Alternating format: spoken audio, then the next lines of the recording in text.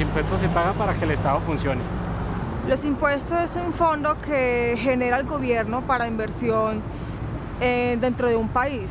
Básicamente van a parar a las arcas del Estado y es para construir todo lo que tenga que ver con infraestructura, con cemento y con construcción de colegios y todo lo que tenga que ver con el bienestar de los ciudadanos. Pues los impuestos son una manera de redistribuir la riqueza y de administrar, eh, digamos, el aparato estatal. Creo que Colombia es uno de los países donde más se cobran impuestos y no se nota como esa, eh, esa inversión por parte del Estado en la malla vial, en las problemáticas sociales, en la educación, en la salud. Entonces, eh, los impuestos deberían ser para eso, pero pues no sé, la verdad.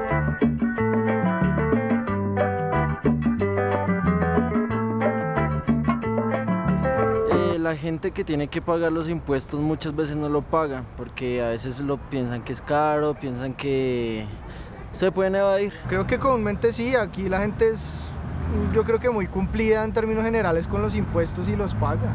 Creo que hay muchas formas de hacerse los locos con los impuestos y creo que la gente que más tiene es la que menos paga impuestos.